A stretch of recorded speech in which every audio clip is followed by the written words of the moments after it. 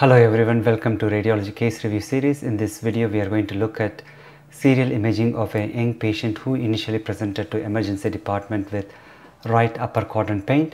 There was clinical suspicion for cholelithiasis.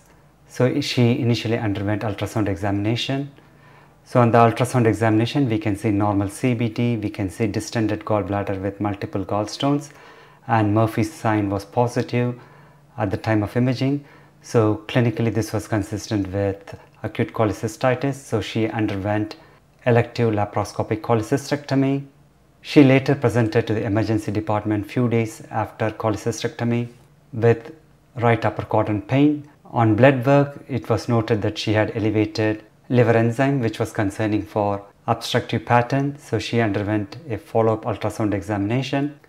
On the follow-up ultrasound examination, it was noted the CBD was markedly dilated, no obvious filling defect was seen, there was no obvious perihepatic collection. So the clinical picture was concerning for cholelithiasis. She underwent elective ERCP examination for further evaluation and management. On the ERCP, they did sphincterotomy for extraction of cholelithiasis. You can see the guide wire appears to extend far beyond the field of view. The true extent of the guide wire is unclear on this snapshot. Few hours following ERCP, patient had hypotension and was tachycardic. So there was clinical concern for potential hemorrhage. So the patient was immediately transferred to the emergency department for further evaluation and management. Due to concern for acute intra-abdominal hemorrhage, patient underwent three-phase CT angiogram. So we did non-contrast, arterial and delayed venous phase. On the non-contrast images, we can see few locules of free gas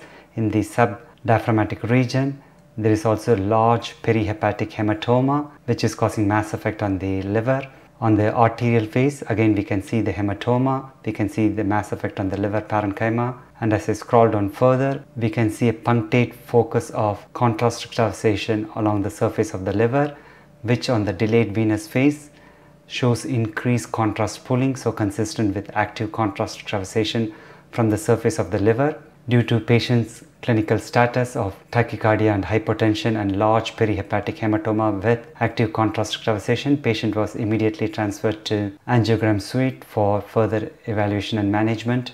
Selective images from catheter angiogram. The contrast is being injected into the hepatic artery. We can clearly see active contrast extravasation in the segment 4 of the liver and also few tiny foci in the segment 2 and segment 3 of the liver. So the active contrast extravasation in the segment 4 of the liver corresponding to the findings seen on the CT angiogram was embolized with gel foam. The active contrast extravasation in the segment 2 and segment 3 of the liver spontaneously resolved by end of the procedure so we are dealing with a young female patient who had undergone ERCP with post-procedural hypotension and tachycardia. On the CT angiogram, we saw large perihepatic hematoma with active contrast extravasation on the surface of the liver overlying this segment 4 on the arterial phase which increased on delayed venous phase consisted with active contrast extravasation. If we look at the ERCP images, we can see the guide wire extending far beyond the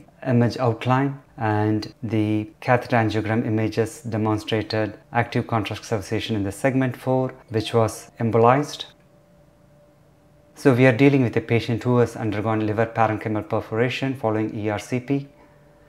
So on the literature review, this happens to be a very rare complication at least on based on my search of the literature, there seems to be less than 25 cases published so far. This is an incredibly rare complication following ERCP.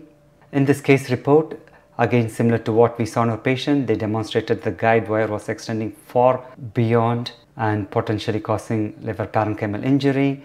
Indeed, in this case report, they hypothesized that the most likely explanation for hepatic hematoma is puncture of the liver parenchyma with the guide wire with rupture of small blood vessels with subsequent hematoma formation. It is also important to remember because ERCP is not a sterile procedure, these hematomas can get infected.